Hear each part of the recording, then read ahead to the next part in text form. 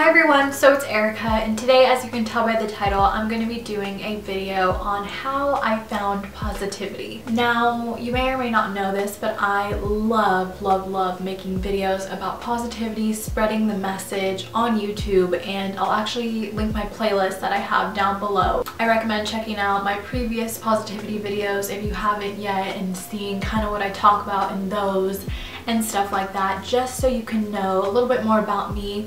But today I'm going to be giving you guys the story behind how I really switched over to this lifestyle which I now am so happy to be living and I really, really enjoy spreading this message. I really hope that at least one person can benefit from this video and, you know, find it helpful or inspiring or something like that. And just so you all know, I'm always open to questions if you want to ask me anonymously for like advice or something or you just want to talk to someone you can always message me on Tumblr. I will have my Tumblr link down below, although it's always linked in the description box. I love responding to your guys' messages on there if you just want to chat, say hi or something like that. But anyways, I hope you all enjoy this video and let's just get into it. So going back in time into my preteen, early teenage years, I always felt like I didn't fit in.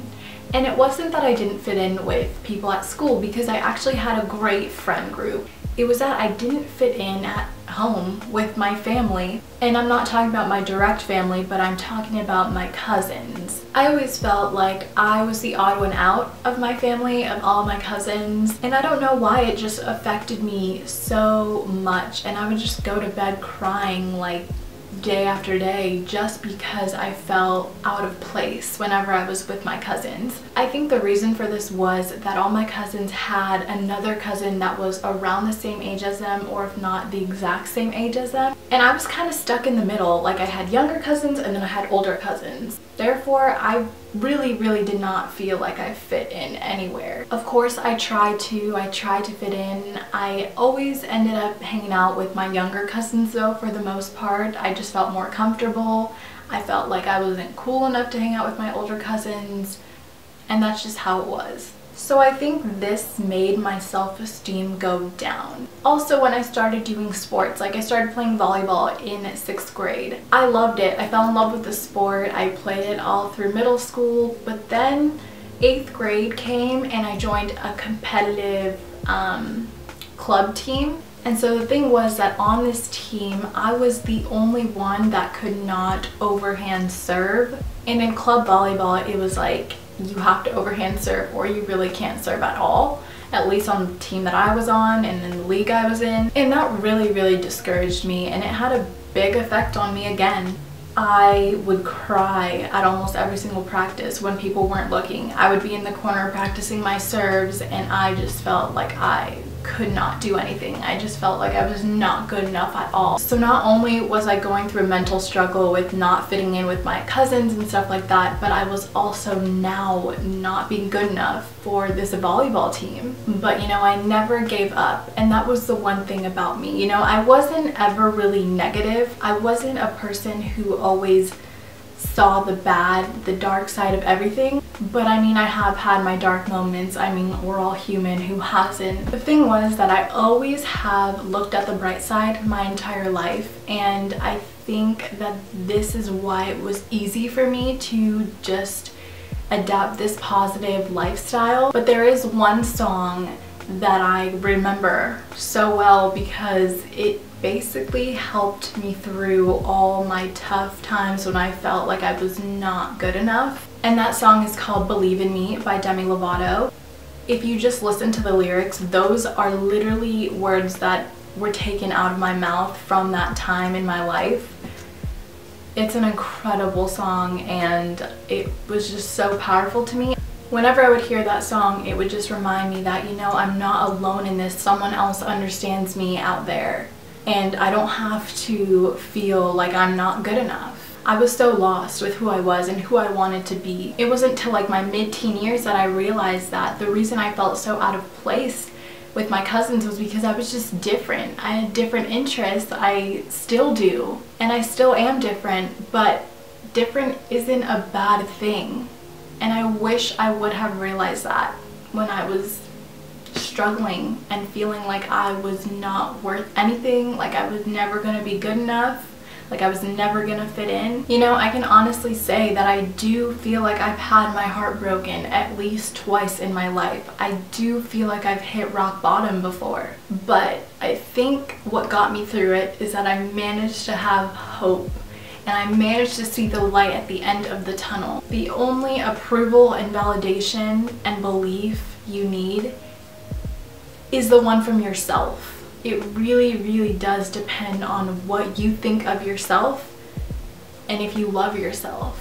And I really do think that's where true confidence comes from. So during the summer of freshman year, I had just stopped talking to this guy that I really thought I loved. And you know, I was tired. I was tired of being upset about crying because we were no longer a thing anymore. And it just got to the point where I was like, this isn't me. I don't want this to control me. You know, I have to move on. I was so glad that the way I chose to move on was to find something that I loved, that I was passionate about.